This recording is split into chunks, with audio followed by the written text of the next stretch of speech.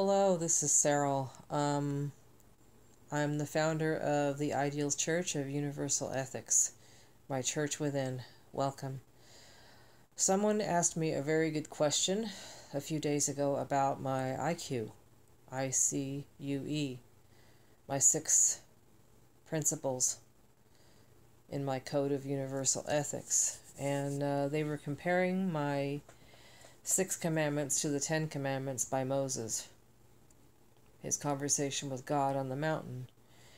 And uh, one of the Ten Commandments is, Thou shalt not bear false witness. In other words, thou shalt not lie. And I don't have anything on my universal ethics process about lying.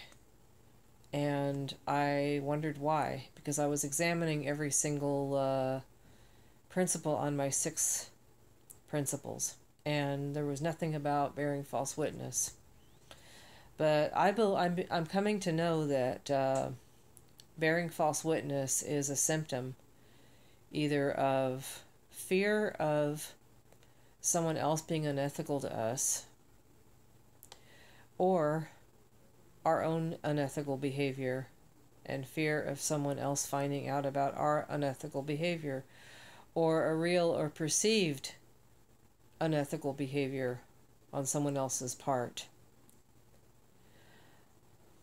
Think about that. If we're afraid someone is being dishonest with us or being unethical with us, we're not going to feel like being honest with them. If we feel like we don't trust someone else, we're going to be dishonest with someone else, maybe.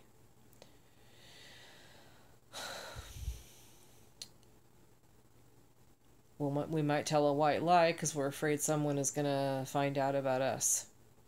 Or we might tell a more serious lie because we're afraid someone uh, is messing with us. Think about that.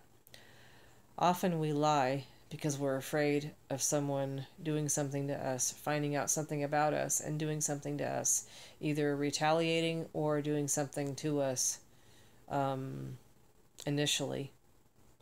So uh, I believe that bearing false witness is a symptom we're afraid of something. We're afraid someone's going to either find out about something we're doing or we're afraid someone is going to do something to us and be dishonest with us about it.